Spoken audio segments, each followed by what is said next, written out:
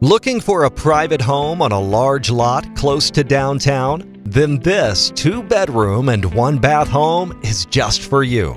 Surrounded by trees, this secluded home is great for peaceful days or outdoor fun. It's conveniently located a mile from downtown, shopping, food, and the local hospital. This quaint home sits on over half an acre landscaped lot with a cozy ranch feel. Schedule your viewing today. Have any questions? Call Hunter Oldham to find out more.